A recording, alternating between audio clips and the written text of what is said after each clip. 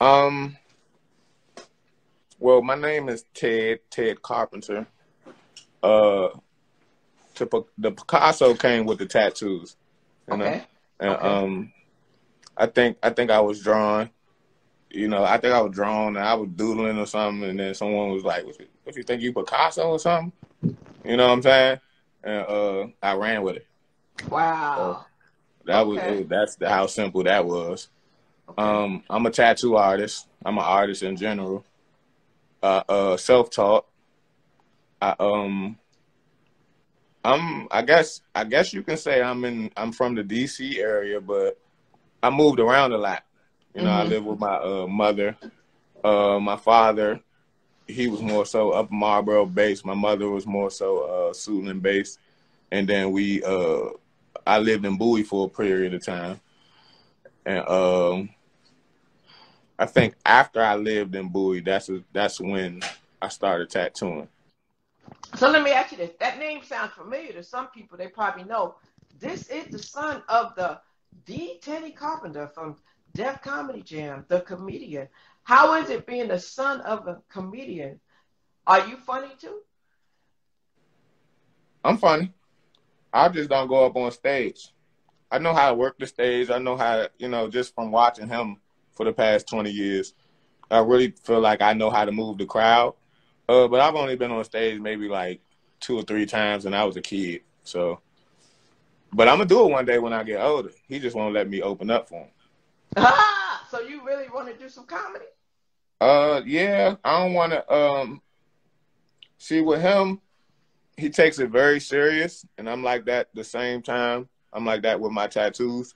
So, if I'm not taking it serious, he's not going to take me serious. Right, You feel? me? right. So, Uh, and then, so- but growing up, it was. I mean, it was it, it was luxury. If you want to be honest, it was definitely luxury because everybody knew who he was. So I got away with murder with everybody. So if I, you know what I'm saying, I got in trouble in school, I got away with it. I get in trouble with anybody. I wasn't a bad kid, you know what I'm saying? But I just knew I, I was a finesser and I knew how to finesse my way out of things. It's like, you know, so with you my father. You worked that system too. You used that clout. right, Wow, that's good. of course. So, uh, did you travel any with your father? Um, yeah, yeah, and no. So he took me. I didn't. I didn't get on the plane a lot with him. So most of the places we went, it was driving, and uh, he owned his own club. So you know, when I was like, I I say when I was like maybe nine or ten, I used to be in the back of the club all the time.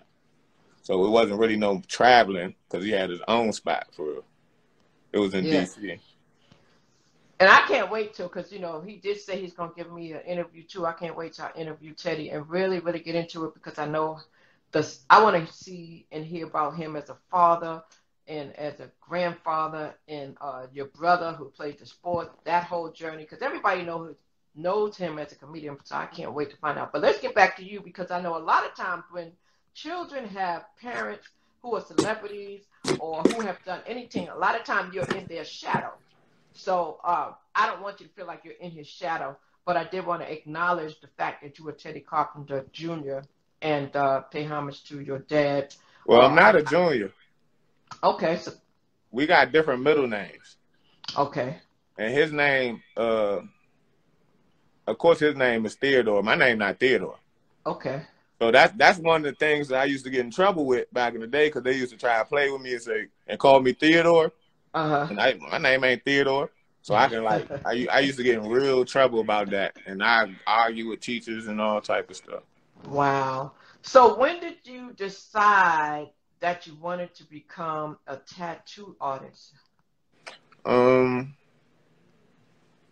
I was going through hard times, and uh, I was staying with a friend of mine, and um, I, at, in the midst of me being in his house. So hard times. When I say hard times, uh, my grandmother passed. I was living with my grandmother and my mother.